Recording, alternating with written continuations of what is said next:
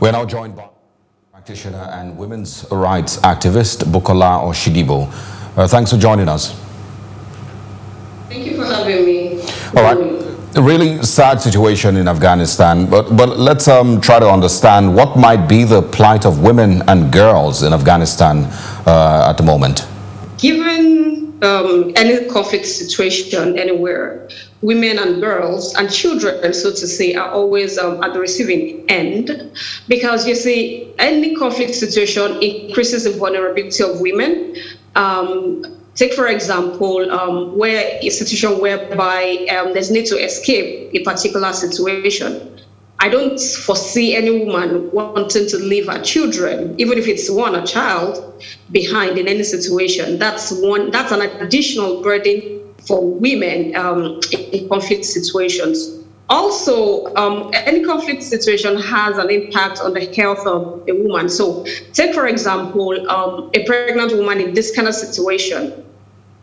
Yes, as much as we understand that some of the cultural and religious practices um, forbid or prevent women from accessing maternal services, for those that want to access the maternal services, conflict situations has impeded that access. And so it also, like I said, increases the vulnerability of that woman.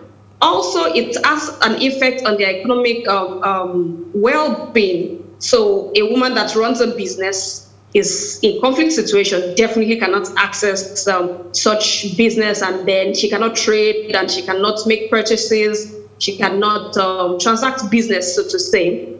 And so that's another effect. For girls specifically, it affects their education.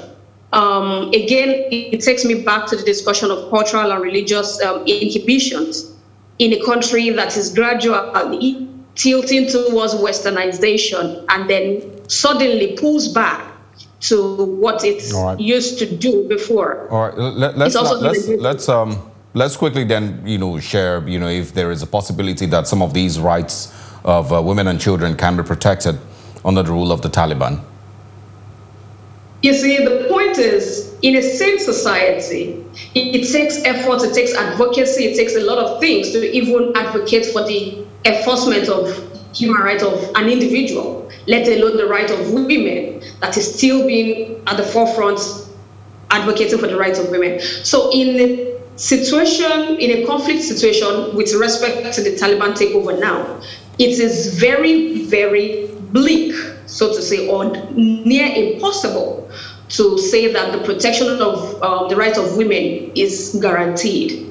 It's definitely going to um, has an, have an impact, I beg your pardon, it's going to have an impact on the rights of women because it's going to more like impact on the gains that has been made in the previous years. So getting uh, the possibility of rights of women being enforced under this situation is very, very close to impossible. Is there, is there um, expectations that you would have from other world powers uh, with regards uh, protecting, you know, the main victims of this uh, crisis, and that is uh, women and children? Would you want any influence from other Middle Eastern countries, or maybe from the from the U.S.?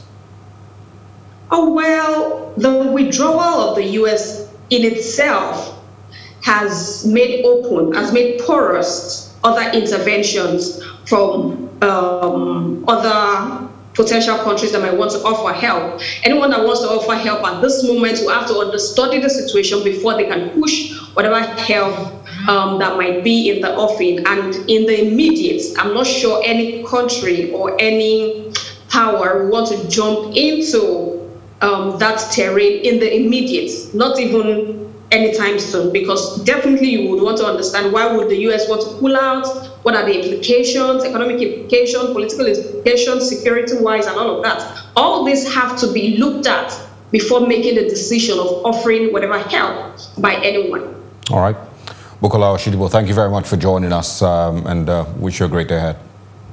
Thank you for having me. Hello. Hope you enjoyed the news. Please do subscribe to our YouTube channel and don't forget to hit the notification button so you get notified about fresh news updates.